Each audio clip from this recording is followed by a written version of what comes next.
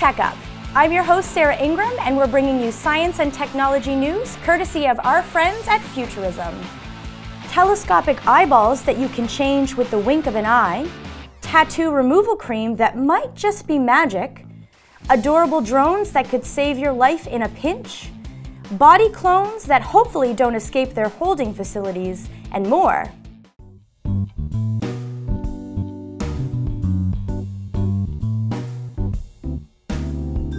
Paging Archer Sterling, the US NSA has found ways to hide spyware deep within hard drives from some of the top manufacturers. Reports have said they have found personal computers in 30 countries infected with one or more of their spying programs, including Iran, Russia, Pakistan, China, and Algeria.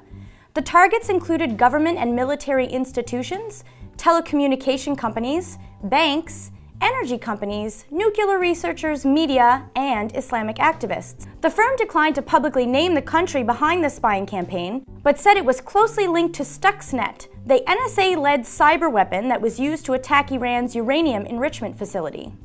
This disclosure could further hurt the NSA's spying capabilities, which have already been damaged by the leaks led by Edward Snowden.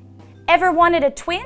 Soldiers could now be scanned before entering battle and a 3D virtual twin kept online in case they need 3D bones printed or other medical procedures in the field.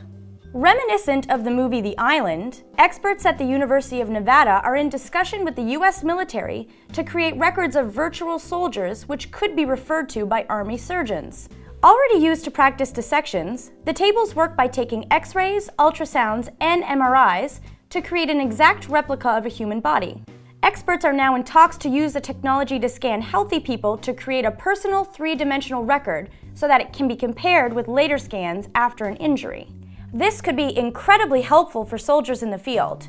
Just make sure that there's top-notch security at the facility the clones are being held at.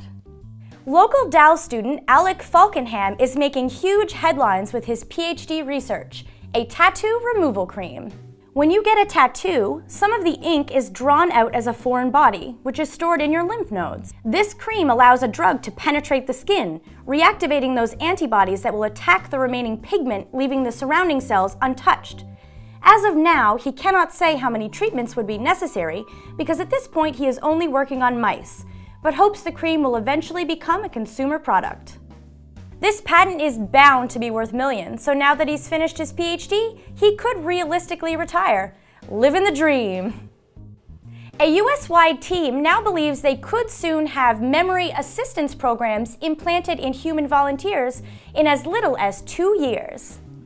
The scientists believe they have cracked how long-term memories are made, stored, and retrieved, and how to replicate this process in brains that are damaged, particularly by stroke or localized injury.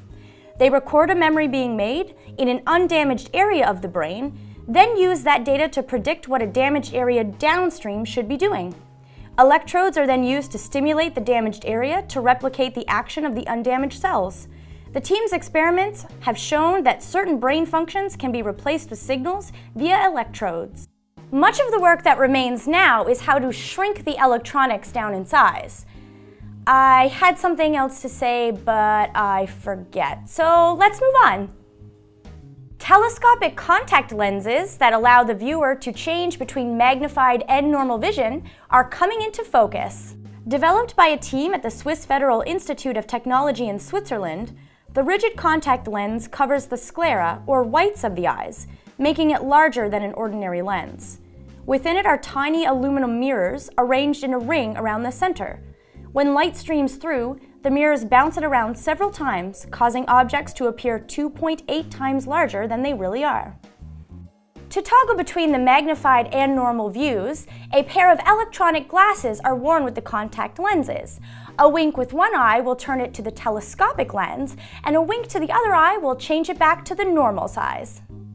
The latest prototype, unveiled at the AAAS annual meeting in San Jose, California, could one day help people with visual impairment.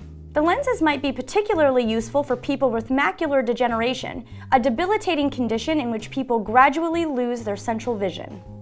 Tesla is working on a battery that can help power your home, as well as help large-scale utilities store power more efficiently. Designs for a home or business battery are already complete and will likely be unveiled to the public in the next month or two, with production as little as six months away. Although many of today's homes draw energy directly from the electricity grid, the spread of cheap solar panels means it's never been easier to generate some of your own. Storing renewables efficiently has been a big bottleneck for consumers and for utilities alike. But if Tesla's stationary battery takes off, it could change the way electricity is priced and traded on a market scale. Come on now, what kind of episode of Tech Up would this be if there wasn't at least one battery story?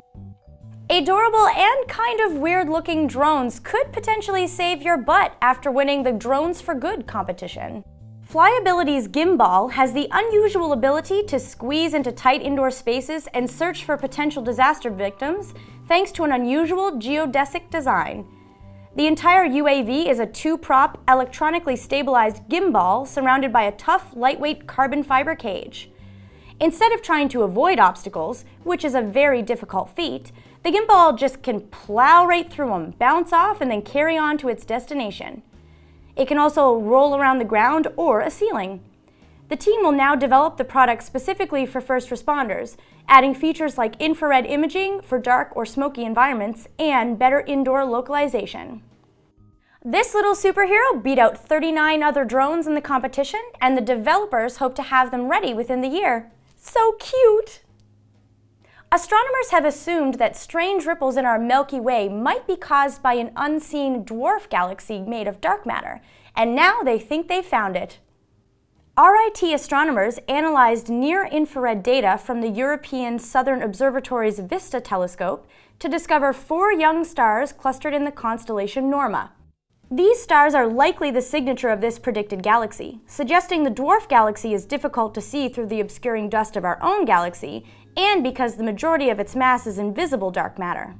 A 2009 study predicted a specific mass and location for the unseen galaxy, and radiation from the four new discovered stars, known as Cepheid variables, allowed them to derive accurate distances and test the prediction.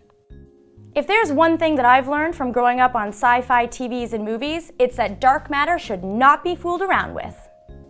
Thanks again to the folks at Futurism for supplying us with this month's biggest news bits. Make sure you follow Futurism online so you can keep up to date with all the science and technology news as it happens. That wraps up this episode of Tech Up. Don't forget to leave your comments and suggestions on our Facebook page or on Twitter. Tell us what you like about the show and what you want to see. I'm Sarah Ingram, and we'll talk to you next time.